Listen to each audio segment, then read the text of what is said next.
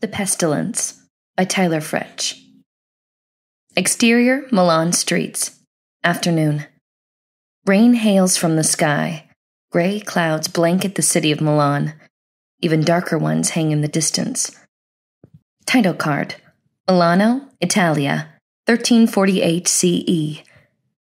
The stone architecture of Milan denotes prosperity, despite the vacant streets it grows from. Hooded figures dash from shelter to shelter, avoiding the downpour.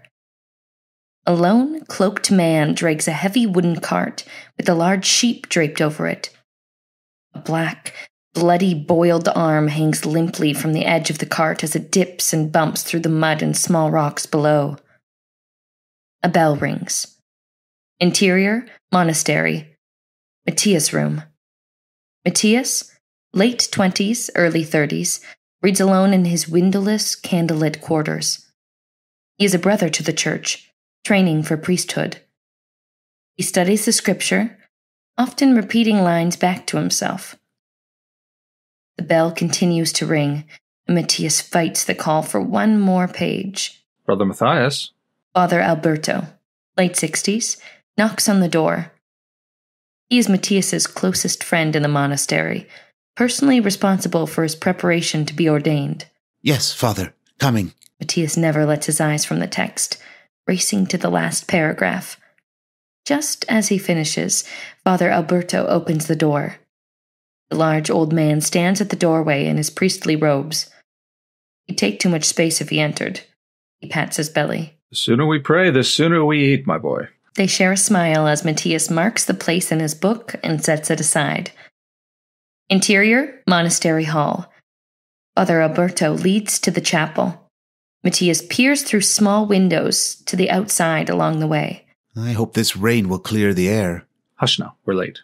Father Alberto is at the door to the chapel, his hand on the handle. Quietly pushes the door open, and Matthias slips through before him. Interior Chapel. Monks, priests, and brothers quietly pray to the cross. Matthias noticed several vacant spaces, more than usual.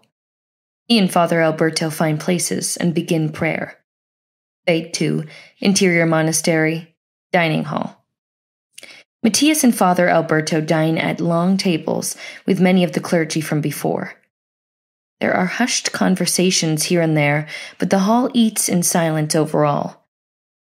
The rain outside has subsided to a drizzle. There is relative silence for a moment. Please, don't take him. A woman screams outside. Matthias is the only one to take note. Please, let me bury him. I cannot let him burn. Her pleas receive no reply, beyond or within the monastery. The cries continue until they fade away into the distance. I haven't seen Brother Fernando and Father Luca yet. Should they not have returned a couple of days ago? There's still snow in the mountains. I'm sure that's delaying them. Remember, we're waiting for more horses. They only had our mule. Mild stench seeps through the window. A few of the clergy cough into their robes. Matthias looks outside. Can't make out much save for the glow of pyres and their towers of smoke. I forgot about the horses. Fade to Interior Monastery, Matthias's room. Night. Father Alberto sits on Matthias's bed as the younger brother hovers over him. Matthias holds Alberto's hand in one and his rosary beads in the other. May the Lord, in his love and mercy, help you with the grace of the Holy Spirit. He releases his hand from Alberto's and stands upright. What do you think? Very good. Very assuring. Your grip may be a bit tight, but your eyes were perfect. Just remember, you're not the healer here. It is the Lord. Matthias nods and seats himself next to Alberto. Brother Enzo said he doesn't plan to touch any of the sick when he's anointing them. If it is the plague, perhaps it's best not to touch where they are infected. Never mind, Brother Enzo, he's not one for people. Monkhood suits him. But you are meant to lead, Matthias, to shepherd your own flock. Yes, Father. Can I tell you something? Of course. This plague is frightening me. I have never felt more ready for priesthood, but the world is changing in these last few months. I may be given a parish if losses continue in the south. Do you fear getting sick? Yes, I suppose as much as any man. I'm more frightened of being a part of the situation I feel helpless in, yet responsible. I see God's miracles every day, and still I feel the devil's work is spreading. It's uncontainable. Take a breath, Matthias. Troublesome thoughts fester in any idle man. I think the monks are the only ones suited for this quarantine. It's true there are parishes in need, but it will take time for the bishop to sort through it all. Matthias is still haunted by his thoughts.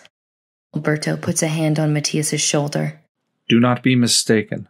This pestilence is the devil's work. God wants us to survive and prosper, but we must stay strong and rely on him. The devil paints these lands with his evil in a broad stroke, but the Lord is righteous and perfect. He paints his miracles with a fine brush, deliberate and detailed. He gestures playfully, as if he's painting Matthias. The young brother smiles and gently waves Alberto's hand away. Make sure you do the painting when you're a priest. Children love it. There's a knock at the door. Come in. Brother Matteo, late teens, twenties, enters. His youthful appearance and shy demeanor make it clear he's new to the monastery.